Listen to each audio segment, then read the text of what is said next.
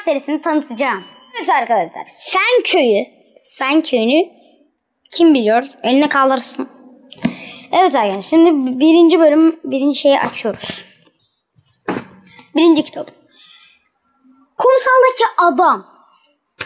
Çocuklar okullarına başlamadan önce oynuyorlardı arkadaşlarıyla beraber. Bir gün kumsala gitmişlerdi. Kumsalda bir tane adam vardı. Adamı gömmüşler. Adam ve kaçmış e, beklemişler. Adam gözlerini açmış ve çocuklar kaçmışlar. Kaçmışlar, gitmişler evlerine, uyumuşlar, kalkmışlar. Çocukları çağırmışlar. E tamam çocuklar yemin etmeye baş e, çok korkmuşlar. Çocuklar gitmişler. Onlara bir şey dememişler. Nasıl şok olmuşlar. Kumsaldaki adam kim biliyor musunuz arkadaşlar? Onların öğretmeniymiş. Öğretmeni olacakmış. Ve aa, yanlış bir şey dedim. E, gittiler. Uyudular, kalktılar. Gittiler, eşyalarını aldılar. Ondan sonra yaptılar. E, eşyalarını aldı, eşyalarını aldılar. Aldılar. Şey kalem defter aldılar Alemi'den. Onun adı Al, Ali şey Ali Market miydi hatırlamıyorum. E, Alem miydi? Alem mi birleştirdiklerini Alem oluyordu? Ve şey yaptılar. Gittiler, oturdular. E, onları çağırdılar ya, oturdular. Çok oldular ama söylememişti. Onların hocasıydı. Gitmişler okullara. Onlara onlarla konuşmuş, tanışmış hocaları ve eve dönmüşler. Yani hikayenin hepsi bu kadar hatır bu kadar e, hikayenin hepsinden bu kadar hatırlıyorum. Daha çoğunu hatırlamıyorum. Temizlemiş miydiler okulu hatırlamıyorum. Bakayım birazcık.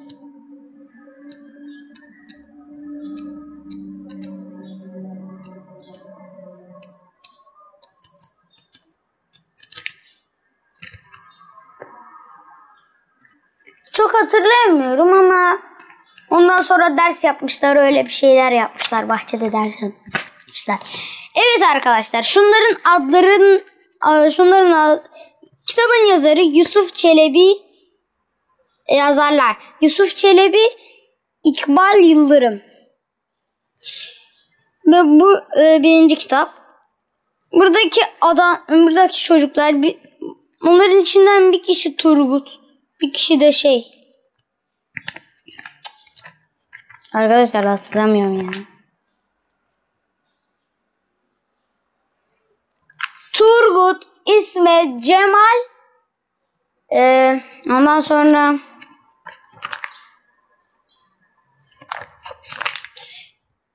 Sezai.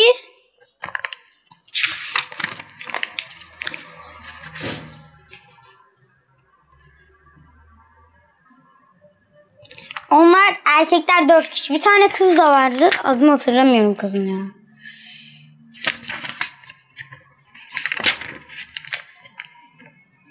Ee, Birgül... Aa ne Birgül'ü ya.